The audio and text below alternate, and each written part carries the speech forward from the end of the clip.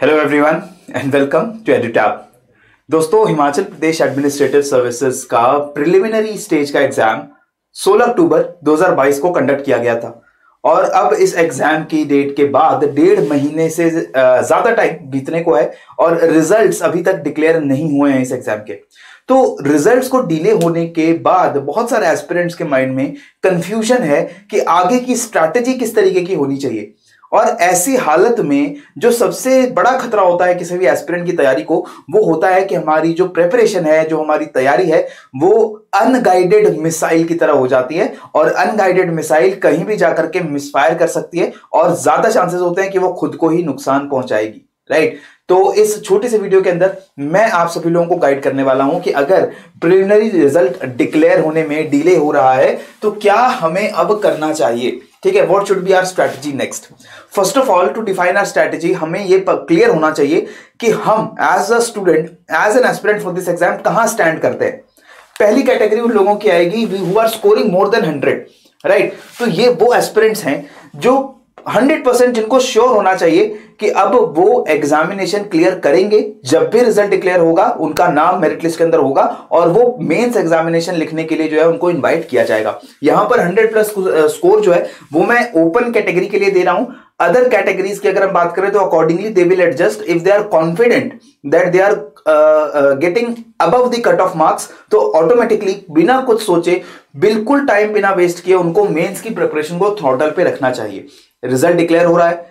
Exam postpone हो जाएँगे mains के एग्ज़ाम इस साल नहीं होंगे, अगले साल होंगे, ऐसे किसी भी र्यूमर के ऊपर, ऐसे किसी भी न्यूज़ के ऊपर अभी आपको ध्यान देने की ज़रूरत नहीं है, क्योंकि वो आपकी तैयारी को कोई फ़ायदा नहीं करेगा। आपका सिर्फ़ एक काम है कि मेंस के ऊपर आपका पूरा फोकस रहना चाहिए आंसर राइटिंग प्रैक्टिस आपकी पूरी तैयार रहनी चाहिए ऑप्शनल का रिविजन ऑप्शनल का जो तैयारी है, वो आपका बिल्कुल टू द पॉइंट रहना चाहिए। तो जो भी एस्पिरेंट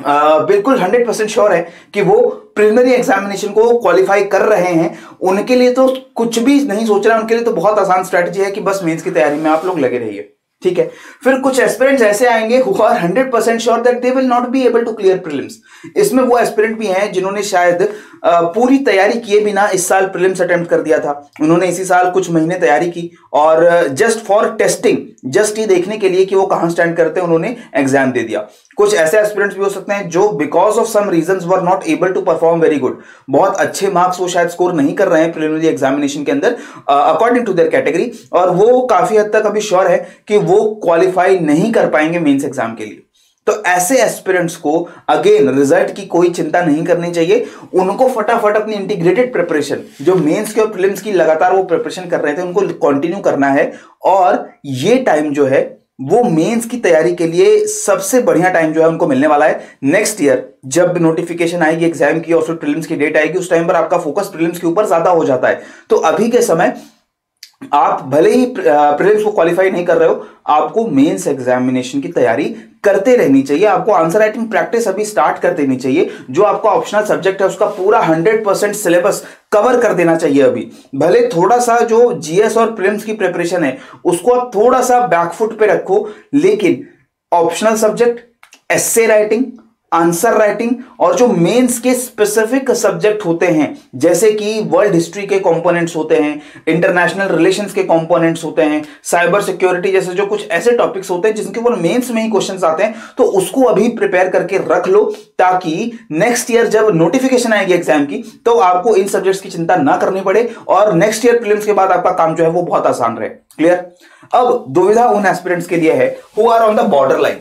95 के अराउंड मार्क्स वो स्कोर कर रहे हैं डिपेंडिंग अपॉन देयर कैटेगरी अब वो 100 परसेंट श्योर नहीं है कि क्या वो मेंस लिखेंगे या मेंस नहीं लिखेंगे. तो ऐसे एस्पिरेंट्स को भी मैं बता दूँ अगेन आइडियल टाइम है मेंस की प्रिपरेशन करने का और आंसर राइटिंग प्रैक्टिस करने का. रिज़ल्ट कुछ भी हो, चाहे आप लोग क्लियर हो रहे हो, चाहे आप लोग मेंस के लिए लिखने के लिए इनवाइट किए जाओगे या मेंस लिखने के लिए इनवाइट नहीं किए जाओगे,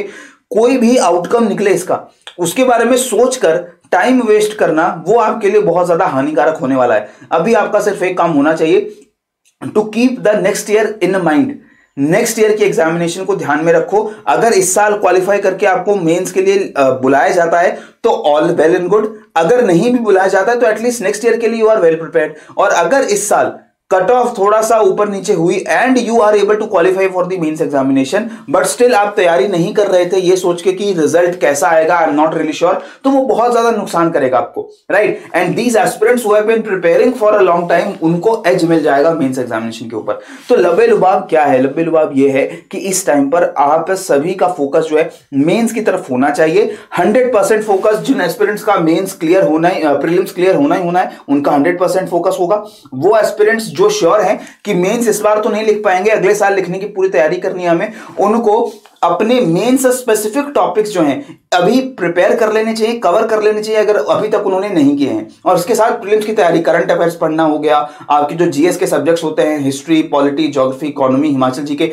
इसको कवर करना साइड बाय साइड आप लोग चालू रखिए। और जो एस्पिरेंट्स अभी कंफ्यूज हैं कि क्या वो कट ऑफ़ क्लियर करेंगे या नहीं करेंगे, उनके लिए मेरी सजेशन यही है कि आप नेक्स्ट ईयर को ही टारगेट करके भले अपना मेन्स आंसर राइटिंग और मेन्स की प्रिपरेशन जारी रखो। अगर इस साल आप क्लियर हो जाते हो अगर एग्ज़ाम पोस्टपोन हो जाता है तो आपके लिए तो बहुत फ़ायदे की बात है।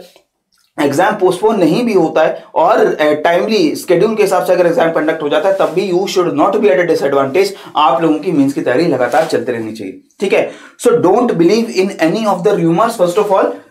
अलग अलग जगहों से आपको रूमर सुनने को मिलेंगे कि रिज़ल्ट कब आने वाला है रिज़ल्ट कब तक आएगा मेंस का एग्ज़ाम पोस्टपोन होगा या नहीं होगा। जब तक ऑफिशियल सोर्स से आपको इंफॉर्मेशन नहीं मिल जाती तो अपने आसपास की लाइब्रेरीज अपने आसपास के कोचिंग इंस्टीट्यूशंस अपने दोस्तों, अपने कॉन्टैक्ट्स उनकी बातों में आने, आ करके अपने आप को अनफोकस करने का कोई भी फ़ायदा आपको नहीं होगा। अपनी प्रिपरेशन को फोकस में रखिए। गोल पे पूरा आपका फोकस रहना चाहिए हमेशा, क्योंकि एक बार जो टाइम आपका वेस्ट हो गया इन सब इन सब चीज़ों को सोचने में र्यूमर्स को आ, सही है या गलत है फाइंड आउट करने में जितना टाइम आप वेस्ट करोगे वो सारा टाइम आपका कभी वापस नहीं आएगा। प्रेशियस टाइम है आपका जो यहाँ पर वेस्ट हो रहा है। ये टाइम अगर आप अपनी प्रिपरेशन में लगाते हो तो बहुत ज़्यादा आपको फ़ायदा करता है। Right so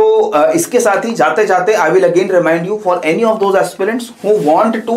make the best utilisation of the time that you are getting उसमें आप हमारा मेंस का क्रैश कोर्स या मेंस की test series that we are offering you in very affordable prices उसको आप लोग सब्सक्राइब कर सकते हैं अगर आप एड्यूटैब की नहीं तो किसी और इंस्टीट्यूट की एटलीस्ट एक मेंस टेस्ट सीरीज़ ज़रूर लिखिए चाहे आप इस बार मेंस लिख रहे हो या नहीं लिख रहे हो क्योंकि ये जो आंसर राइटिंग प्रैक्टिस का इनिशिएशन आपका होने वाला है ये बहुत मदद करेगा। यही डिसाइड करेगा कि क्या आप एचपीएस एग्ज़ाम को फाइनली क्लियर करते हो या क्लियर नहीं कर पाओगे। ठीक है? So if you want you can go for this test series और crash course specifically for the mains examination of 2022 otherwise अगर आप 2023 की कॉम्प्रिहेंसिव तैयारी करना चाहते हो तो we have launched the comprehensive course for 2023 also ये कोर्स जो है वो 2023 दिसंबर एंड तक वैलिड है और इसके अंदर आपको videos notes and test series for prelims and mains मतलब ए टू जेड नीड्स जो आपकी एचपीएस एग्ज़ाम के लिए हैं, वो यहाँ पर आपको अवेलेबल हो जाती हैं।